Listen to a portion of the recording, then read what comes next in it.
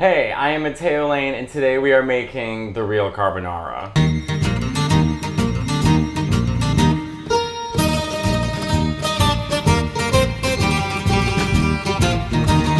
Hello, I'm Matteo Lane. Today we're making the real carbonara. All right, so the real carbonara, the recipe's basically been destroyed, right? Not even just Americans, everybody else outside of Italy. The Romans have a pretty specific rule with carbonara. It has to be dry pasta, spaghetti, or rigatoni, egg, pecorino romano, guanciale, which is this, which is this part of the pig, and pepper.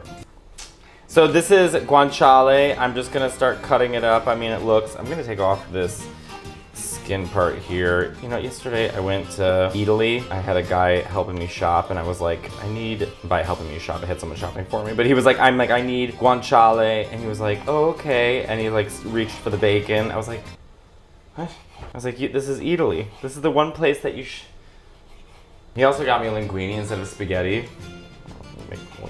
I like to cut my guanciale just in tiny little like strips like this. I think it cooks really nicely. And uh, some people like them in thick cubes. I don't necessarily like them in big thick cubes like that. I feel like the barefoot, oh by the way, do you like the painting of the barefoot Contessa in my kitchen? It's a painting I did for art school. I went to School of the Art Institute of Chicago and everyone is very highfalutin and on the last day when we were doing our portfolio day, like you have like this gigantic gallery wall. All these snotty art people come and they look at stuff. I just did a, a, painting of the Barefoot Contessa. So I had a giant gallery wall with just her.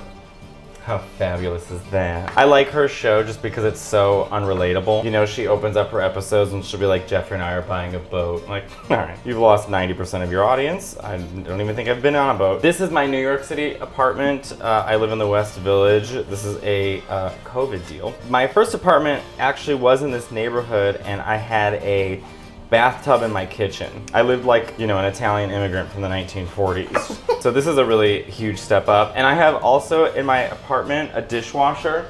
And if you're a New Yorker, whoo, you're jealous. That was a selling point of this apartment. There could have been a dead body literally lying on the floor. And they're like, but there's a dishwasher. I'd be like, I'm in. But I didn't go buck wild. Like I didn't get one of those apartments with like a doorman and stuff. Like I, it's still a walk up. Okay, so here's how we're gonna cook our guanciale. We're gonna cook it very slowly. You don't need to use olive oil. You don't need to use um, vegetable oil for sure. Because it has so much fat in it, you're just gonna slowly cook it in its own fat. Sounds like me on Christmas. All right, so I'm gonna put it on a really, really low heat, and we're just gonna let that start to crisp up. We're gonna be using some of that fat and oil in our pasta later. So now let's make the base for la carbonara. So the base of the carbonara, uh, it's usually two egg per person. If you want it extra creamy, I learned from this Italian Instagram called Carbo Gang. It's a bunch of Italians who just make carbonara. You should follow them. They were nice enough to have me in their house and they made me carbonara. One thing you can do is add an extra egg. Now, I use just the egg yolk. Some people use a mix, some people use just eggs, some people just use egg yolks. I find it has a creamier texture and tastes less eggy if you just use the egg yolk. All of these are acceptable answers. I've seen everyone from the Pasta Queen to Vincenzo's plate to Luciano in Rome do a variation of this style, so long as it's egg. And try and get a nice egg, you know, one that has color in it. See like how nice and yellow this is? Actually, it's almost orange. Carbonara in Italy sometimes comes out like, ooh, almost orange because it's like they actually take care of their chickens. I'm sure there's a better way or more practical way to get the egg yolk out of here, but this is the way my mom did it, and so this is the way I'm doing it. Oh no! Wait, can I save it? Hey! Saved! Feel so gross. I feel like I'm a ghost hunter. Okay, so we've got our egg yolks and now we're gonna add our cheese. So this is a pecorino romano. I grated this myself. You wanna grate it so it's super, super fine. You don't want it to be um, shredded. And you're gonna use a pretty good amount. I wish I had some kind of like measurement for you, like, oh, you should use this, but I don't know. I have no idea. There's a whole process to this.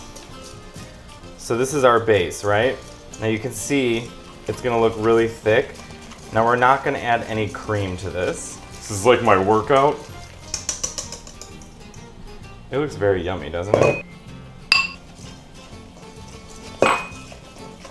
Okay, here's something I'm gonna do. I'm gonna bring it over to our boiling water and start mixing it on the boiling water.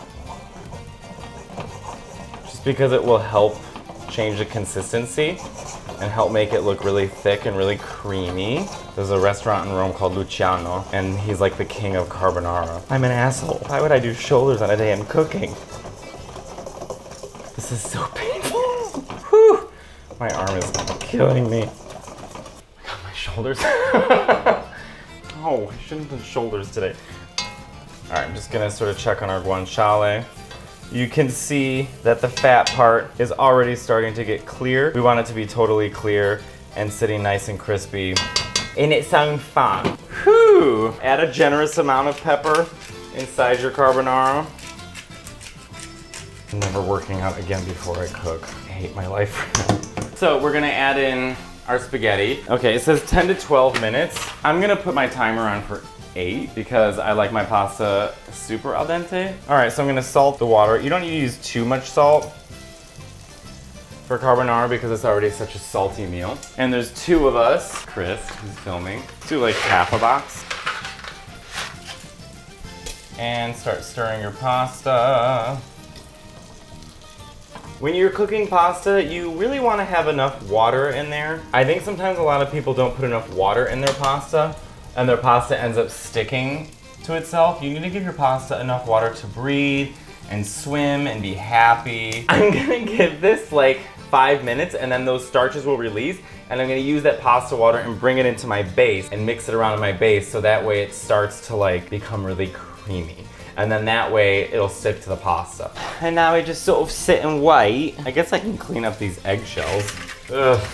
God, this is what it's like after sex. Just like a disgusting, sticky mess. You're like, is there a baby wipe? I think I see why, um, like, chefs in America don't want to make carbonara in America because it's like so much eggs are used. But then at the same time, I'm like, well, so many eggs are used during brunch. So like, what's the difference? One of those meals that people just can't get right. I think a lot of other cultures sort of sense the same thing. I think a lot of Mexican culture and Chinese culture, there's a lot of Americanized mm-hmm. versions of their food and people eat it and think it's authentic. And it's fine, you know, but it just, it's nice to have the option of having the real food. Okay, our guanciale is starting to look good. Yeah. I mean, it's literally just fat. It looks stressed out. Smell that it's domestic guanciale. We're going to start thinning out our carbonara base. I'm taking some pasta water, and then what I'm gonna do is slowly bring it into our base. This is so you avoid scrambled eggs. So what is it called? Tempering? Is that what this is called? I mean, your guess is as good as mine. You don't use cream. You're gonna use the pasta water to help thin it out. Let's turn our guanciale off. That's the thing with this recipe is you're kind of jumping all the way around. Cacio and pepe is much simpler. Yummy! This thick guanciale, and we're gonna bring it out. That looks just about right. It's partly crispy, it's chewy, all that fat started to render. I'm gonna take a little bit of our oil and bring it into our pasta. You know, because why not? Gives it a nice glossy look, doesn't it? All right, let's try our pasta. Make sure it's not overcooked. It already looks al dente. Oh my god. Mm-hmm. We're ready to go. Save a little more pasta water, just in case I need to thin it out. Ugh.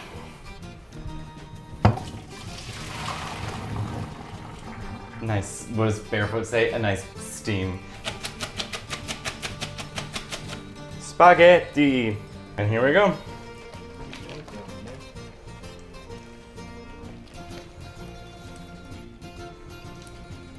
I mean, how fabulous is that?